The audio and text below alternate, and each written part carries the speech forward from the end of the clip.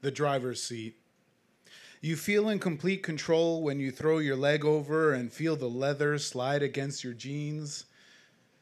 There aren't any passenger seat options yet, so your increasingly distant wife has no place to sit.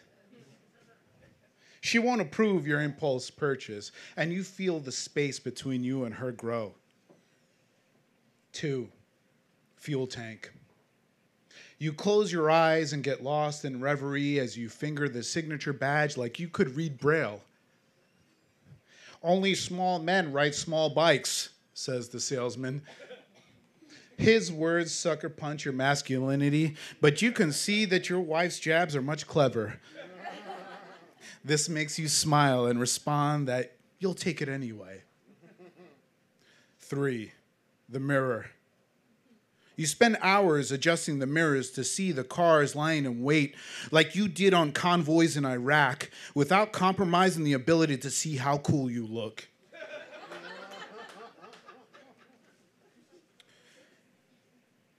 Four, headlight. You leave the high beam on once you find out it is legal to use it on the interstate, but you conveniently forget to turn it down on local roads. You want to be seen. Five, the rear brake pedal. It's easy to manipulate the rear brake pedal, unlike your now even more distant wife. You use the rear brake to adjust your speed through the middle of a corner like the ones on Ortega Highway. You visit an old Marine friend in Temecula who guides you through the switchbacks. But you're carrying too much speed through a sweeping turn. You hold the throttle steady and apply just enough pressure on the rear brake pedal to scrub some speed and tighten the line. A few months later, he'll move to another state without you telling him how much you value the friendship. Six, the mufflers. You have burn marks on your right leg pant, on your right pant leg from leaving your leg on the muffler too long when you want to thaw out on a six hour ride to Mammoth. You do this over and over again on long rides, and you wonder why you can't plan right for the one thing you love. Seven, the tail light. You look back at the dark roads and realize the tail light isn't bright enough to see what you are leaving behind relationships, responsibilities, and commitments.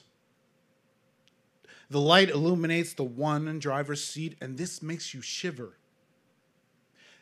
Eight, the ignition switch. There's too much traffic on Interstate 5, and you cut through Camp Pendleton only to run out of gas.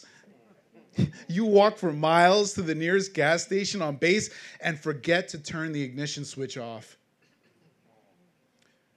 Nine, the battery. Your battery is dead. Why? C8.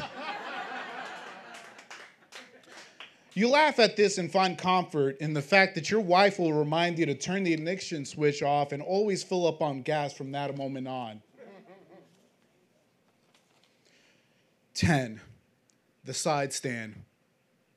After the Palomar Mountain Loop, when the Montezuma Valley Road ends, and you graduate to the Highway 74 switchbacks and fly across Angeles Crest Highway and ride all 655 miles of the Pacific Coast Highway, you return to Sunset Cliffs. You kick the side stand and lead your small bike and throw your leg over the seat, then walk to the edge of the unstable cliffs and plant your muddy boots at the intersection of earth and wind. You think about your father in law and your Marine comrade, their love of motorcycles, their independence, their isolations, their suicides. The salt mists your eyes as you glare at the sun, so you walk back to your bike.